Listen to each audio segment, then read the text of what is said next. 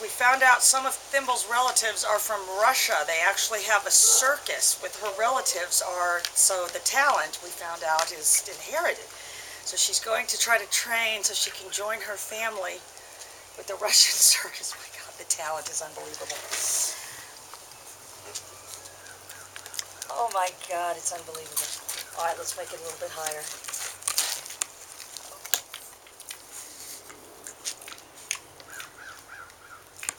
My God, if she can accomplish that, it'll just be unbelievable.